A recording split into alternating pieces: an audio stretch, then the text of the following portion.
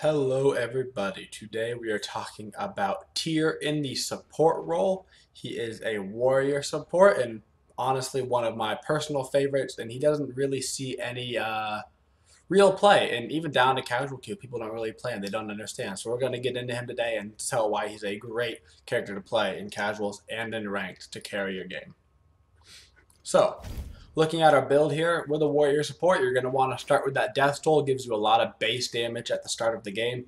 This is going to be especially helpful on your auto attacks on Tyr. Tyr has a pretty nice auto attack chain. Combine that with the skills and you're getting a lot of damage off. Uh, you're looking towards your Midas boots, of course, on support unless you get extremely far ahead that happens in this game. So I'm moving into the Warrior Tabi. Don't be afraid of Warrior Tabi. It's a great item on Warrior Sport. If you get ahead, it's going to let you put out a ton of damage until about that 15 minute mark. Looking at next, our core items. Sovereignty, of course, a core on uh, any support, along with Hide of the Urchin for warrior supports. Mix and match those as you see fit in the game, whether you want one before the other, depending on if they have a lot of magical damage, maybe the Hide, or uh, if you're not feeling like you need the Hide early, go Sov. You can avoid the Hide altogether if you wish, but a great item uh, if you get it relatively early from the stacks. Magi's Blessing, of course, you gotta get it on support eventually, third or fourth item, generally, just to help you get those objective secures. If you're going to go damage on Tyr, Jotun's Wrath is a great way to go about that. It gives you a bunch of cooldowns so you can get your uh, crowd control off more often. And Void Shield Shifter Shield on Warrior support slash Assassin support is always a great item. Uh, Fenrir, good person to get it on Tyr, great to get it on uh, Guan Yu sometimes. Just a little bit damage and defense at the same time to help you go kind of hybrid. Your defense items, of course, are always situational uh, for healing, attack speed, etc. For your actives, Wrath of the Gods, most people go Blink on Tyr. You don't have to go Blink on Tyr. It's not necessary all the time. Uh, if they have a ton of healing, you need to get the Weakening Curse. Otherwise, it's going to be situational Blink or Shell, depending on how you're feeling that game. If you're not comfortable initiating without uh, Blink, go ahead and get it. But once you get really comfortable with here, you might want to look towards Shell of Absorption the majority of the time. Getting into our abilities here, looking at our passive. He has honestly one of the best passives in the game. Uh, I would take this passive almost any other passive. Basically, he cannot be crowd controlled for more than one second which is super cool as a general passive, and if you really think about it, as a support passive in terms of securing objectives, one second is the longest they can CC you for. So that's really great for getting your Gold Furies, your Fire Giants, etc. Fearless. This is the skill you're going to get first at level 1. No matter what, it's your getaway skill, if you will, and your damage skill. Uh, one of the best skills in the game. You're going to dash forward, you hit people two times, and at the end, you knock them up in the air. Uh, you rank the skill up to max first. Does a ton of damage base, uh, plus your death toll if you end up getting Warrior Tabi. Great, great damage. You can hit multiple people with it. Really good skill. Power Cleave is the skill you're going to both get at level 2 and you're going to max up second. This is your damage skill and assault stance. If you use it at the end of your one, which is your fearless, you'll knock them up again so you can get a couple auto attacks in. If you're in your guard stance, which is your defensive stance, you're going to heal. And you can heal for a lot. You heal for twice for one target and then normal for each other target up to three. So you get a lot of healing from this skill. Change stance, the skill you rank up uh, third. Uh, if you're in assault stance, you gain passive physical protection. If you're in your defense stance, you get uh, protections, which is really nice in terms of being a tank. You can initiate with the damage and then fall back to your defense uh, once they start focusing you. Lawbringer, you'll get a point in at level 5, and then generally don't get another point in until your other three skills are maxed. Uh, basically, it's a giant leap you slow when you land. The slow doesn't go up when you land, so you don't gain any utility. It does a little bit more damage, but you're better off getting the Change Stance, Power Cleave, Fearless ranked up. Uh, those skills all do a lot of really good stuff. So, who do we want to lane with with Tyr? Well, as Tyr, you're going to be really aggressive lane, so you're looking for Anhur, you're looking for Neith, you're looking for AMC. High damage characters with CC, uh, Anhur, Neith, or just straight damage right right in their face AMC, that kind of ordeal. You don't really want Rama Apollo. Once again, those late game turning on ADCs, you waste the early game potential with a warrior support. In terms of who you want to go against, you want to go against a character like uh, Athena can be okay to go against, kind of hard because she can taunt you out of the Fearless. But if you hit her with the Fearless while you're doing the minions, great uh, to go against her. Bach is another great character to go against. Some pretty hard lanes on Tyr. Sylvanus, uh, you generally have a hard time out clearing a Sylvanus. It's kind of iffy. It's actually not as bad as you would think, but not the best matchup. In Geb being a really bad matchup because if you go to Fearless, the support, he can shield the support. He gets out of your Fearless so you don't have your CC chain going onto him. So let's go ahead and get ourselves into this game. On the order side of the map, we will be starting at the speed buff. This both guarantees that uh, the speed can't be stolen in a couple of minutes from the other side if they have better push. Uh, it's also going to allow us to get a really nice experience start in terms of uh, just general experience. The other side has a better start uh, for their support dual lane, but this will allow us to get a lot of XP pretty early, so we're relatively even with them.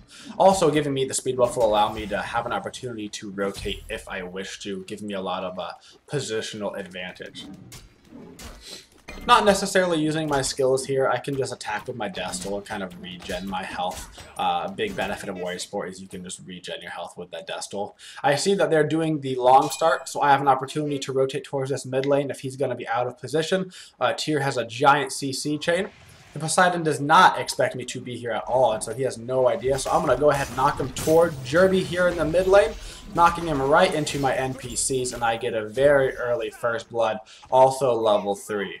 Uh, one of those things about getting that speed buff early, I have a very, very fast rotation to that lane so I can put a lot of pressure. Now our mid lane, being a Chronos, uh, having a hard time in the early game is going to be able to get ahead.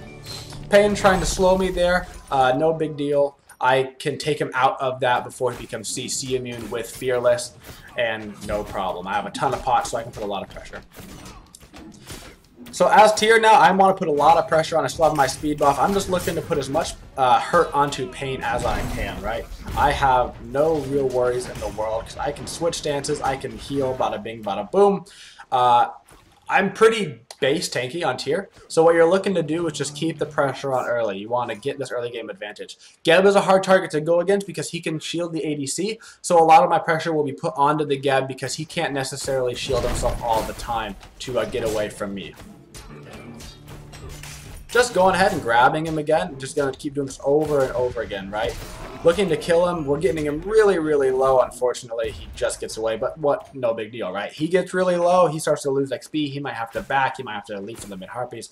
All good stuff. The reason I'm putting pressure on the Geb again is because I cannot kill the Anhur necessarily because he'll just get Geb shielded.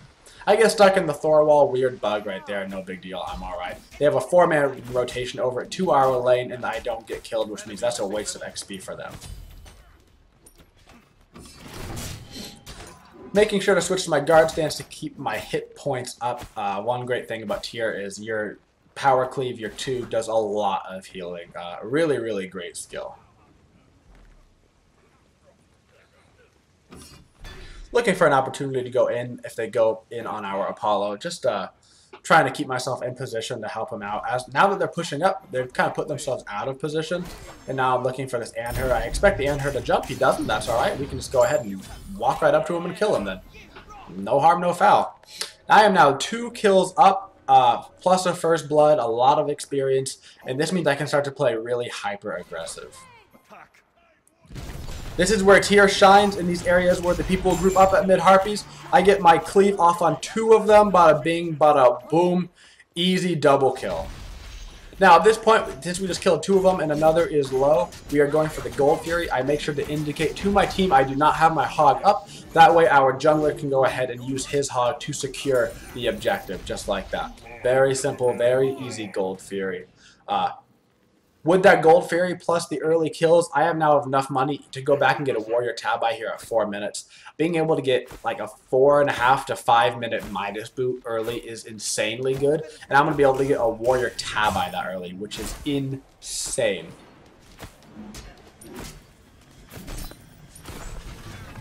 going ahead and using my power cleave through the Geb. The Geb tried to knock me up right there. I counter and use my one. You cannot be knocked up uh, in your defensive stance one. Just a little fun fact tidbit right there. Grabbing some wards for my ADC, I'm pretty much going to be rotating around looking for kills across the map. Uh, I'm so far ahead with my Warrior Tabi. I'm going to have so much penetration. The base damage on Tyr 1 is honestly one of the highest in the game. uh, combining that with your two at the end, plus you're guaranteed to get an auto attack or two off, you're looking like a thousand damage in that chain. Especially early game, that's like a full health bar. Putting out deep wards for my Apollo, uh, he's not going to get ganked. He doesn't need back wards. Payne thinks he's going to get out, but nah. Boom. Bada bing, bada boom. Another double kill. You ult the over the wall, you get a kill on the support, you land your power cleave, you get more kills. This is why Tyr is one of my favorite gods. I didn't play him a lot uh, before the SWC, and I've just fallen in love with this character. I am so glad nobody plays him anymore because he's so good. Anhur trying to secure the objective with his ultimate, it was a good idea, but he couldn't quite get it. I had my hog up, so I used that for the secure. I can grab the blue buff over here, because we can just go right over to our blue buff, and I can have the Apollo uh, get that one. This way we both have the blue buff. It's really beneficial for Tyr because I can use my heal now on my power cleave. I don't have to worry about the mana costs. If you see the attack chain of Tyr, you go one, half, one and a half or so. That's about the chain. It might be a little bit uh, off on the numbers, but that's about the chain you're looking at. That last hit on Tyr, you're smacking people extremely hard. Very important to land that third attack in your chain. Playing really aggressive on them now because I do have four levels over the support and their mid lane. Uh, just looking to put a lot of pressure on. Waiting for them to group up, and sure enough, they do. This means I can go ahead and get them both in that skill keeping the pressure on as much as I can. They're using a ton of skills on me. Uh, I've got to be really careful now. I am pretty much dead at this point, but my heal is coming back up in just a second. If I can live like one more second, I can switch over to my other stance, and I can go ahead and get out of here. But no, there's an Anhur, so I've got to start running towards their base, but I know the Anhur is going to be coming towards me, so I need to be extremely careful. But as he comes toward me, I can go ahead and hop away as Joby picks up the kill on Anhur, and I do not have to die this day. My team wants to do the red buff. That's perfectly okay. I am out of there. I have uh, pressed my luck enough for one uh, engagement there. At this point now, I'm kind of deciding what I want to do. Do I want to go tier 2 Sov? Do I want to go and hide? Do I want to get uh, tier 3 Hog? I realize that the Gold Fury still isn't spawning for a little bit, so I can go ahead and get tier 2 Sovereignty, not have to worry about it. It's going to help me a lot with the physical defense. The Poseidon is not a problem right now. Uh, they're really heavy physical damage. They have a Loki over in the solo lane and her Thor. Geb's not going to be a problem. Besides, not a problem. So let's go with the Sovereignty, which is going to give me upwards of 80 physical defense, plus a great amount of health. Plus it's good for your teammates. Overall, great item. Did not need to hide. Not really having a mana problem because I'm getting blue buffs. All kinds of good stuff. Enemy missing right. At this point, I can essentially 1v1 anybody on the map. Uh, I can maybe even 2v1 anybody right now, even as the support, because I'm going this uh, very aggressive build. Uh, little tidbit right there. You don't necessarily want to clear the whole wave with your power cleave. What you can do is you just kind of clear a little bit of it. At the end of it, once you're looking at two or three minions left, go ahead, use your heal. You can heal yourself back to full. This Anhur has no choice but to go ahead and jump away from me, which means I can just go ahead and uh, follow him up on that. He cannot get away from me no matter what. If he didn't jump, I use my my fearless combo on him. If he jumps, I ulti and use my fearless combo on him. He pretty much just had to sit there and take it. Didn't really get a choice. Waiting for my combo to come back again onto the Thor. It does not come back up in time though, so whatever, no big deal. We can go ahead and get a full collapse onto this Poseidon. And he will die relatively quickly trying to secure a kill on them right there, trying to get a little a little kill secure. Not not a kill steal, but a kill secure. Unfortunately, I do not get it. But I mean, I guess Nemesis is like okay or something. But I mean, as far as hyper game endgame carries, I was thinking I was gonna be this one in this situation, but whatever. Up about 6k gold right now. This is kind of the situation, like I said, that you're looking for on Tyr. This Thor thinks he's super cool, and I'm like, what are you doing? I can grab him and the Geb in the same Fearless. If I wouldn't have grabbed him and the Geb, the guy would have just shielded the Thor, and the Thor would have gotten out. That's why I made sure I aimed it towards the Geb as well. The Gold Fury has a respawn, which means I need to go ahead and grab my Tier 3 Hog as well as a Sentry Ward to see if we can maybe go ahead and do that. Uh, it just respawned very recently, and that was the reason why I didn't get it on the pass back was I didn't actually need it at that time. My team resets the Gold Fury because there is a Geb rolling in. Uh, they still really low. Their whole team is extremely low on uh, levels right now. Their experience is really hurting them, so I can just look for pressure anywhere I want to, really. Even Tier 1 towers won't be a threat to me at this point. I hear Thor in the air. I know he's going to go for my team in the left lane. I indicate that to them because I can hear it on the uh, hear it in my audio. At this point, I'm looking to kill Geb. He has a really smart ult, which makes him CC immune. Uh, really smart idea there from him. Uh, it does save him from the death, but it won't save his friend Poseidon. I may have took a lot of damage, but I can use my heal. That's like a 400, 500 hit point heal that I can do right there. Uh, really big money heals. The Poseidon is dead. The Geb was relatively low. I know his ult is down. If he does happen to come in, I can use my Fearless combo on him and probably kill him. So I don't have to be too worried right now. So this should be a relatively free Gold Fury. Uh, and sure enough, it is. There's nothing they can do about it. They were too low. They had no mana. They had to back. At this point, we've gotten two Gold Furies by the 10 minute mark, which has got to be decently demoralizing to the other team. There's also a 9 and 0 uh, support on the other team, which has got to hurt just a little bit. Still making sure to do very basic things like getting blue buffs. Uh, uh, even if you're this far ahead, you can't just be completely roaming around doing complete nonsense. You gotta stick to the basics. You gotta make sure you're getting XP from lanes. You gotta make sure that you're helping your uh, ADC out as much as you can. He goes ahead and ult. That's why I wait to use my skill. Unfortunately, I do not have quite enough mana to get my uh, cleave off after the combo. Apollo happens to also be out of mana, so we're not going to quite be able to secure a kill there. But the Anhur had to use his ultimate, and he got a lot of pressure put onto him, so he's pretty scared. Apollo making a smart move right there. He sees the Thor ulting in on him because of the ward. We have the Gold Fury. so he makes the preemptive decision to just ultimate out to be safe. Very smart decision. I need just a couple more gold for a sovereignty here, so I'm just going to go ahead and wait for it. There's nothing wrong with waiting in base for like 10 to 20 seconds if you need some extra gold. Uh, once you start getting to 30 seconds to a minute, you don't want to be waiting that long. You'd rather go out, maybe do the back harpy, and then back again so you're at least doing something. But if it's about that 20 second or below mark, you can go ahead and wait, and it's not going to cause you any problems. You're not going to fall behind or anything. No real objectives on the map. The Gold Fury is down. The Tier 1 Tower middle is down. So at this point, I'm roaming around. I've already got plenty of XP, so I don't need to be super conscious about it, but I want to be able to keep my lead as well. So I'm just looking around. Maybe Poseidon's middle. I don't know. Nope, he's not. No big deal. I can start roaming around to the right lane. Now that the Gold Fury is gone, I no longer need to be over in that left middle hand side of the map because they can't sneak in a Gold Fury while I'm on the other side of the map if there's no Gold Fury looking to steal buffs if I can. There is no buffs up, so what are you going to do? They have a Loki over in the right lane. Pretty hard to gank, but who knows? We have a lot of people here. Maybe we can go ahead and kill the Loki if we put pressure on all his uh, escape routes. Waiting for the NPCs to go by so Loki does not see me. We're going to go ahead and come in behind him. Loki ultimate's out, but he can't get out of this. He does get his ultimate off, but Jeremy hits him with a really good uh, Chrono stun, which applies to him after he ultimates, so I can walk in and get a free kill. Looking for minions to heal off of.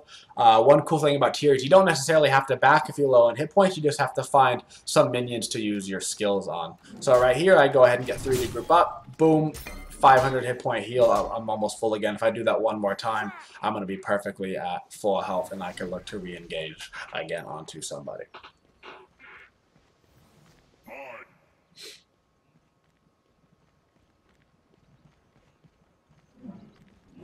Mid Harpy spawning soon. We have complete control on these mid Harpies. It also allows me a chance to get my heal off. Now I'm at full hit points and I can pretty much do whatever I want again.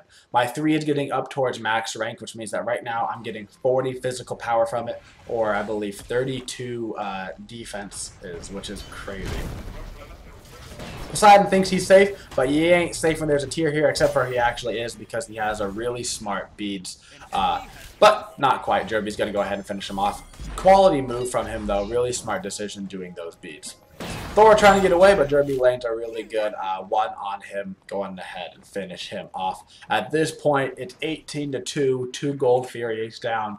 Uh, we're up in their jungle, taking buffs when they're up, and they're getting decently demoralized. This game probably won't last that much longer. The Anhur is in his tower. He doesn't even see me behind him, which means I have a very free uh, walk up, fearless, kill him. If he would have maybe had more map awareness, he would have seen me there. Would it have saved him? Would it have mattered? I don't know, but at least he wouldn't have died that exact second doing a ton of tower damage because of uh, how much physical power I gained from that assault stance. Not to mention I've got the early uh, itemization coming out. Going ahead looking for the buffs. One thing you want to do when you're ahead on any character is you want to go through their jungle. You see, that's a big thing that the professional teams do is when they get ahead, you always go to their jungle. You take their buffs. That's going to make your character stronger. It takes XP away from the other team. It takes gold away from the other team. And then you can go ahead and do your buffs, and you're getting both, which is a really, really big thing. Uh, that separates a lot of the really good teams from the OK teams, is being able to take advantage of when you are ahead and moving into the enemy's jungle and not being afraid, making sure you have good communication with your team, that your team is following you you backing you up. So if they come to fight, you can go ahead and fight in their jungle because you're already ahead. So you should win the fight.